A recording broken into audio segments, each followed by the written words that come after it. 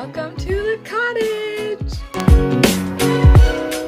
On the lake there is a mini library so we're walking there now to see what books we can find and it's always really hilarious the types that you can find there.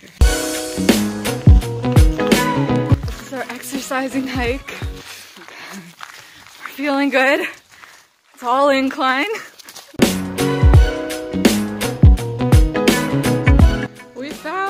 Library. What you always find at these libraries are these kind of finds. Outlander fans. I think it lends itself. So here is my first meal that I made, pre-made that we're having for lunch today. It's the Hot for Food chickpea tuna sandwich, which is so good. I'll show you what the salad looks like now. Our chickpea tunas, we just use the stuff that I had already pre-made and have it on the buns now. And for mine, I put mustard because I love mustard. I used my food processor to mash the chickpeas, then I added in the other veg and ingredients into the mix and mixed it all up with the vegan mayo. And this is the lunch view that we have. So nice. We are going on a canoe ride now through the lake. Our lake is pretty small so you can always canoe around the whole outskirts of it and it's pretty cold. I'm regretting I didn't bring a hat. We've already completed the scariest task, which is always flipping over the canoe and praying that there aren't giant bugs inside.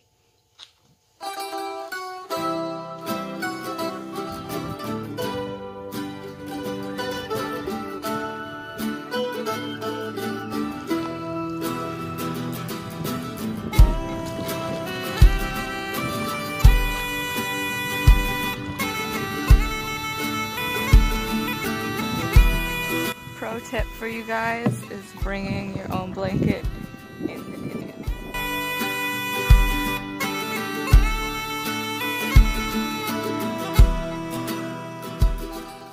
Fireside hangs. And normally my cottage has a stove, but right now the power's off, so we're using the generator. So we're gonna cook our vegan mac and cheese using a fire. So stay tuned to know how to do that. So how we're cooking our mac and cheese without a stove or an oven or anything is we first boiled our noodles on hot coals. Ready! Ready, cabbage, And it worked out actually really well. And so what we're gonna do next is strain it.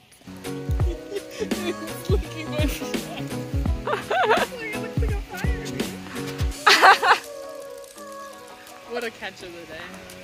And then we're gonna add this butternut squash mac and cheese sauce that I made at home. I made it by blending the butternut squash, roasted, and all the other vegetables and ingredients in my food processor. And it was actually really easy and it tasted really good. I definitely wanted to eat all of it first as a soup because I couldn't wait to eat it. But I'm gonna link the recipe down below. It is not my recipe, but I definitely think it's good so far. First time chef.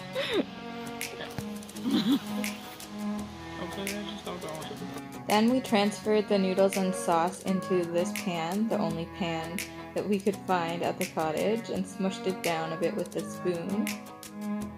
Of course, we wanted to add some panko, which is vegan, for some breadcrumbs. And then how do you think we cooked it? We did it in the barbecue. That's right, there's some veggie dogs beside.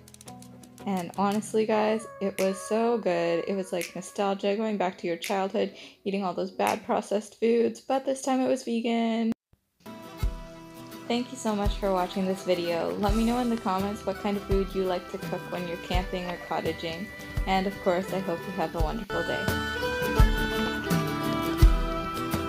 Cheers, ready? They didn't see it. Try again, higher. This high. Too high. Are you zoomed in? Oh yeah.